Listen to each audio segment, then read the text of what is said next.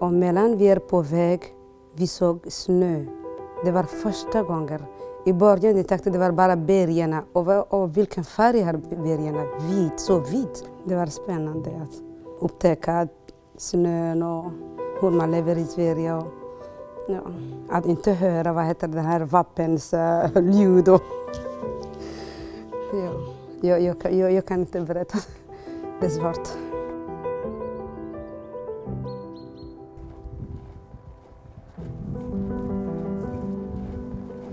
Välkommen. Tackar.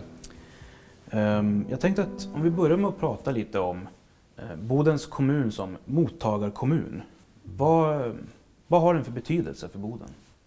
Boden har ju länge varit eh, en tillflyktsort för de som har flytt från krig och elände.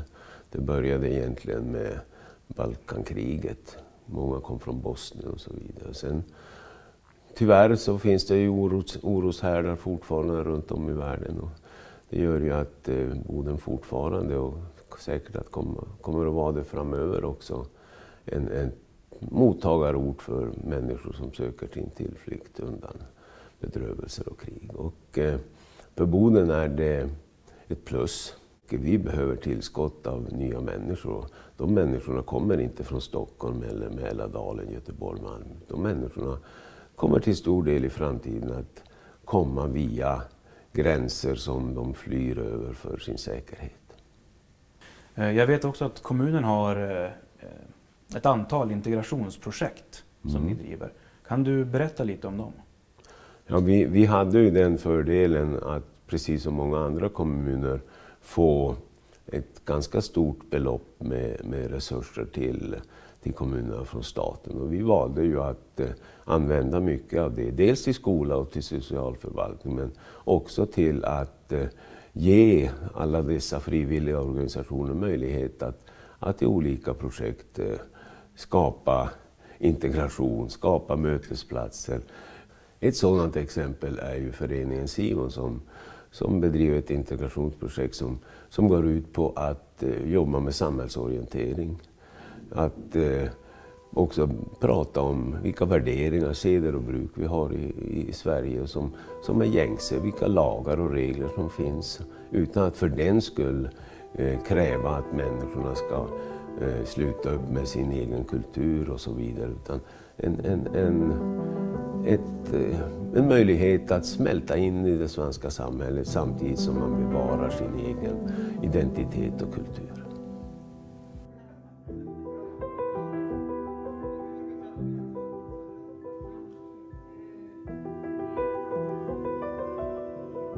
Vi skapar många aktiviteter till olika, eh, om det är vuxen. Vi gör med olika studiecirklar, samhällsinformation. Eh, om det är ungdomar som vi tänker kanske inte hamnar drogproblem och sådär så gör vi eh, olika aktiviteter också. Eh, ikväll ska vi ha en, eh, en tema, en föreläsning som vi kallade en att ha barn och leva i Sverige och det är. Vi har sett att det finns ganska svårt för de som kommer hit att ha familj och ha barn, som, eh, vad heter det, barn och eh, leva i Sverige. Så vi vill ju berätta lite mer om vad som, hur det är i Sverige, vad som är regler och lite mer om regler. Vad behöver en familj om det blir jobbigt och sådär, om de inte klarar av, var ska de vända sig och få hjälp? Jo, och på Simon förening, det är hela familjen som är medlem.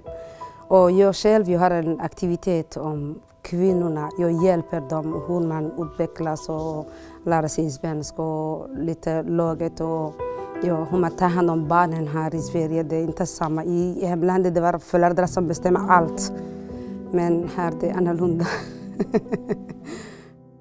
Sen har vi andra projekt som bidrar till att, att eh, skapa kompetens till de yrkesområden som, som det finns brist på. Ett sådant exempel är lokförarutbildningen som har bedrivits sedan några år tillbaka i Boden där man nu också har utvidgat den till att bjuda in våra nyanlända till att eh, också komma in i, i den utbildningen. Och det är en bristyrkesutbildning. Det här är ju ett projekt med bara vinnare. Vi har, eh, vi har en bransch som saknar lokförare. Det är brist på lokförare. Vi har en eh, målgrupp som har svårt att ta sig in på den arbetsmarknaden. Och vi har en utbildning som har lite svårt att fylla sina platser. Så det är väl eh, om någonting en win-win situation som vi har.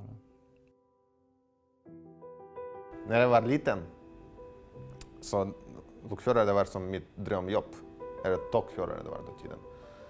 Eh, jag tyckte om, alltså när man är liten så känns allt jättestort. Och speciellt tåg när man tittar så är det jättestort, en jättestor, enormt gigantisk maskin som kör på en speciell väg och mycket metall. Och säkert några stora grabbar som kör och måste vara stora starka för att köra en sån.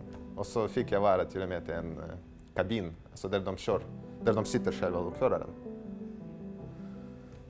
Jag vet inte varför de släppte in mig, jag var kanske lite för nyfiken, jag vet inte. Men jag, jag var där inne till och med och så såg hur de kör och sånt, så blev jag förälskad i det. Så, men det stannade i huvudet som en barndröm. dröm. Den bara stannade och var någonstans där inne. Men det är på riktigt. Niklas ringde mig dagen efter och sa du är intagen. Uh, eh, till och med jag fick ett papper där det stod, det står att jag är intagen. så det, det känns jättepositivt. Jag blev glad, men samtidigt som sagt fortfarande känns att så det kan inte vara sant. Jag vaknar imorgon och så går till vanligt jobb och så det, det, det kanske var bara en dröm. Så kändes det. Det känns fortfarande lite så. Det kan inte vara sant. Alltså det är alldeles för bra för att vara sant. Hur kunde jag? Det var väldigt många som sökte. Jag, jag har inte några exakta siffror, men det var väldigt många. Kanske 50 pers, 60 pers. Och bara tre som gick igenom. Det känns så. Och jag var en av dem. Jag vet inte. Eh, vad, ser du, eh, vad tycker du är värdet med de här eh, integrationsprojekten? Ja, värdet är ju framför allt att eh, man engagerar eh, alla bodensare mer eller mindre. Det är inte kommunen som, som säger att nu ska vi göra det här därför att vi tror på det här integrationsprojektet. Utan det är ideella krafter som sitter och funderar på vilket sätt skulle vi kunna bidra till en bättre integration. Och eh, det är det som är, är liksom grejen i det hela. Att det är bodensarna själva som, som funderar över vad, vad kan behövas för att det ska bli bra. Och vad tror du att den här typen av projekt har för betydelse för enskilda individer som kommer hit? Jag tror att det har en positiv betydelse samtidigt som vi måste förstå att det är inte lätt att eh, komma flyende från, från ett flyktingläger någonstans i Libanon eller kriget i Syrien och hamna i Boden. Vi kan inte förutsätta att de direkt är mogna för de integrationsprojekt som vi tycker är bra för dem. Vi måste förstå att det är en resa de har gjort. Man kan ju försöka vända på det och tänka sig om man själv skulle hamna i den situationen och eh, eh, var tvungen att, att fly från det här trygga Sverige och helt plötsligt skulle det bli otryggt och det skulle vara, eh, ge oss anledning att fly någon annanstans. Hur, det, hur, vi skulle uppleva det att komma fram och börja famla oss fram och söka efter eh, ställen där man kan känna sig trygg och där man kan få mm, stöd och möjlighet att etablera sig i samhället. Vi måste ibland försöka vända på våra tankar och tänka hur skulle vi själva tänka? Det är inte lätt. Och därför så är det viktigt att vi inser att det tar tid och vi måste ge dem chansen till den tid de behöver.